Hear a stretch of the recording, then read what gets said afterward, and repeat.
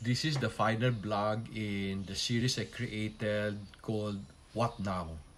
Now that we've lost our jobs, now that we have closed our business, what now? What opportunities can I pursue? Uh, what options do I have? You know, as I start this, I I'd like to I'd like you to consider something na pinag-iisipan ko. Is it possible that what you see as a curse is actually a blessing? Because it is giving you or forcing you to pursue an opportunity that may be better for your future. I've been telling you to consider the things God has entrusted to you. If you're still in the cities and you've lost your jobs, maybe there are businesses in your family that you have been disregarding or not been taking care of. Maybe it's time to go back to them.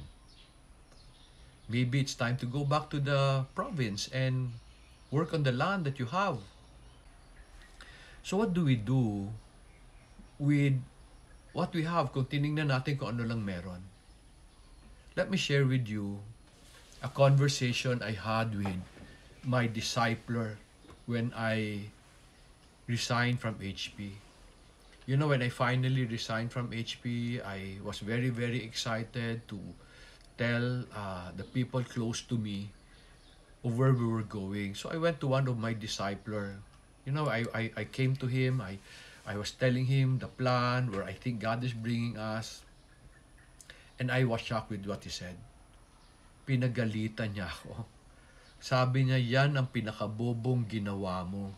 Sabi niya, sinayang mo yung trabaho mo, sinayang mo yung alam mo, sinayang mo yung skills mo as a manager. Sabi niya you can have you would have a had you would have had a good future in HP but it was because I was assistant country manager already. You know when he was scolding me, I felt so bad. Sabi pa niya sa akin, tapos magtatayo ka ng babuyan. Bakit? Alam kala mo ba, yayakapin ka ng misis mo, pag uwi mo na amoy baboy ka. You know, I went home, I really felt bad. Sabi ko, nagkamali ba ako? But do you know that today I am doing exactly what I was doing when I was in HP? Today I get a chance to train people. Because in HP, I would create my own training to train my people. And today, that's what I'm doing through Similia. And do you know that the reason why we were able to grow the farm was because of all the skills that I have developed when I was an employee and when I was a manager. I used to work as a production manager sa Timex Philippines and Cebu. And so, those learning helped me to develop processes in the farm. My skill as a manager helped me to uh, understand how to bring out the most from ordinary people. So, wala actually nasayang. So, lahat ng dinaanan ko noon, nagamit ko in, in, in the new opportunity that God gave me walang nasayang. Baka naman hindi ka nawalan ng trabaho. Baka naman binibigyan ka ni God ng maski ano, mas magandang opportunity para hindi masayang. So what should you do? Where can we go? Ako, if you've lost your job and you're looking for something better, ito ang suggestion ko. You can actually try to understand and say, ano ba ang alam ko? pwede ko ba itong gawing negosyo paglabas ko? Alam mo, it would take a long time for many of you to find another job because ang dami-dami naghahanap ng trabaho. So you are you are competing for, for, uh, for a very small opportunity for for for a finite for a finite opportunity. So habang siguro naghahanap ka, pag makita ka, well, good and good for you. Or baka pwede mo naman magsimula magnegosyo by using what you know. Let me explain this. Last year, I was in Qatar with Randall Chongson and I was talking to this nice couple. I always use them now eh, for in some eh, in in in teaching how to create opportunity. So, itong si Harris and si Kat uh, was telling me that they want to go home already. Pero sabi nila sa akin, hindi pa ho kami ready because we have not invested enough for passive income. You know, yan ang parating iniisip ng mga tao, passive income. And so sabi ko sa kanila, ano ba ang ginagawa nyo dito? Ano ang trabaho nyo? So sabi nito ni Harris, paramedic nurse siya. And si Kat naman was a nurse pero diabetic expert. Sabi ko sa kanila, alam mo ako ang gagawin ko, dadalhin ko ipon ko sa Pilipinas. Pupunta ako kung saan ang pamilya ko and then magtatayo ako ng dialysis center. So sabi ko sa kanila, it will not give you passive income in the beginning. Pero ang negosyo, pag maganda ng takbo, it will give you income on a regular basis without having to work as hard. Sa hard, sa umpusan lang yan, mahirap. So yun ang advice ko. If you've lost your job, tanong mo, can I create a business from what I know and from what I've saved? Pero I would suggest you go back to where you have um, families, where you have emotional support para mas madali. On the other hand naman, kung wala kang maisip na negosyo o hindi mo magawa yung ginagawa mo sa sa when you used to work in the past doon sa lugar nyo, ang tanong ko naman, when you go back to the place of your birth or maybe place where your family is, ang tanong ko, can are there opportunities that I can pursue using using the management skills I have acquired. And yun basically ang ginawa namin. You see, I'm not a farmer, I'm an electronic engineer. Pero when God brought us to Bukidnon, alam namin farming lang ang opportunity dito. So I I use the the skills that I have gained in HP and to manage a farm. My farm is unique.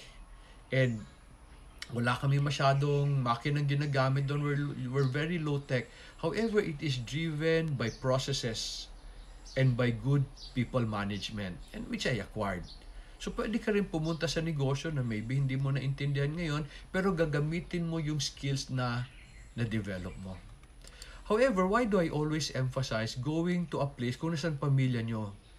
You know, ako, I'm sharing this because when we came to Bukidnon, wala akong emotional support. Wala kaming pamilya dito eh. However, uh, the, that was also the reason why I went to God. So God became my emotional support. You can also do that, but also it's always nice to have family who you can run to for encouragement and for help.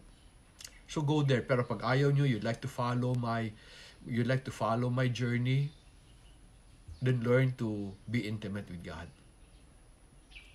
You know, when you go back to the city, to when you go back to the province, or you go outside Metro Manila, in the city of the province, ask yourself, is there an opportunity that I can develop?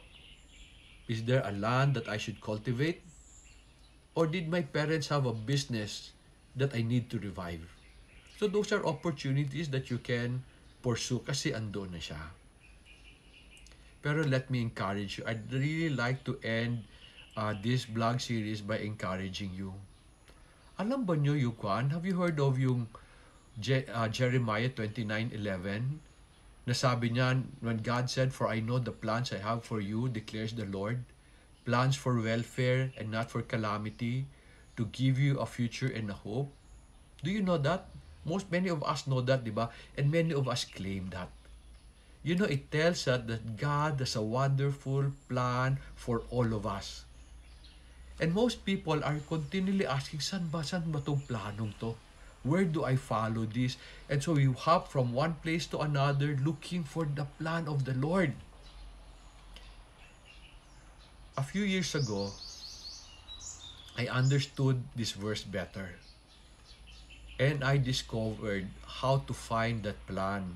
And in order to understand the plan of the Lord, we need to take that verse in context by un- by understanding paano niya sinabi. And I understood that context of that verse by reading the whole chapter of Jeremiah 29, 29. And verse 4 to 7 explains how and where you will find that plan. If you don't mind, I'd like to read that. Sabi ng Jeremiah 29 verse 4, Thus says the Lord of hosts, the God of Israel, to all the exiles whom I have sent into exile from Jerusalem to Babylon. Build houses and live in them. Plant gardens and eat their produce. Take wives and become fathers of sons and daughters. Take wives for your sons and give your daughter to husband, that they may bear sons and daughters and multiply there and do not decrease. Seek the welfare of the city I have sent you into exile, and pray to the Lord in its behalf. For it's in welfare, for it's in, for in its welfare you will have welfare. Do you understand what God was telling them? They were in exile in Babylon. Or sabi ni God, I have a good plan for you. But for the meantime, stay put. Sabi niya, in the city where you are exiled, build houses and build family. Can you imagine? Sabi niya, I have a good plan for you. And the plan was to ultimately take them back. However, for the meantime, stay put. You know, if God wants you to go to another city, let Him bring you to another city. Do not abandon the place where He has put you. You know, in the story, in Jeremiah, some Jews did not listen to Jeremiah. They went to Egypt. Do you know what God did? God killed them with plagues, with swords, in, in wars. But those who stayed in Babylon prospered. And do you know that in Babylon during that time, God raised some of the Jews to manage Babylon? Sila Daniel, sila Shadrach, Meshach, and Abednego. Okay? The Jews were actually running the place. God blessed them in the place where they were exiled. So what is God, what is God saying? May plano ako maganda sa'yo. Pero I will give that when you are ready. For the meantime, stay put. Build houses where I place you build families doon, but very, very important. Sabi sa verse 7, Seek the welfare of the city where I have sent you. For, its for in its welfare, you will have welfare. Did you lose your job or business? Baka naman tinanggal niya because He wants you to go back and be exiled to your province or where or where your families are so that you can build a better life doon. Alam mo, kanina no, I was talking to you about si Harris and si Kat. And most people go to, most Filipino trainers would now go to OFW and teach them to build passive income. And naniniwala tayo, ah, naniniwala tayo today that the good future can be created through passive income. By taking the money that you have saved and putting them in investment medium so that when you're older, may perang pumapasok sa inyo. Ako, I have a different mind eh. In fact, before I tell you what I, my view about passive income, ang tanong ko, anong silbi ng passive income niyo today? The stock, the stock market have collapsed Many of you have invested in mutual fund. Meron akong mutual fund. What income does it give us today? Nawala, no? In crisis, nawawala sila. You may have a lot of condominiums, pero today, people are struggling. Who will rent? There, there, wala, wala masyadong movement. Wala masyadong movement ng travel. So, anong mangyayari sa atin? Ako, the reason why I told si Kat and si, si Harris, you go back you create a business from what you know. Bakit? Because I really believe business can give you passive income. No, paano nangyari yon? When you're starting a business, mahirap yon. It is not passive income. However, when the business is stable, it will continue give you to give you income without having to work as hard. And today, that is what's happening in our farm. I do not work as hard, but the money flows in. So business can give you passive income. Yung mga financial people, they talk about passive income. They're not really, they're, they're okay. They're okay. Okay lang ako doon. However, it takes a long time for it to stabilize and in times of crisis, hindi siya passive income. Wala siyang income. I am not saying what they teach you wrong. I am just telling you the power of creating a business for ourselves. Now, I've been teaching you what to do with what you have, pero kulang yon. If you'd like to learn how to do business, you may want to consider the training of Similia. Alam ko the new normal is staying home and so we are preparing to put our training online. So maybe you can watch that. Kami lang, hindi namin intindihan yon So we're preparing for that. So I really hope you enjoy the, the, the four uh, video that I created on this series called What Now? And I hope you share this with friends. Kasi I really hope I can help all the Filipinos.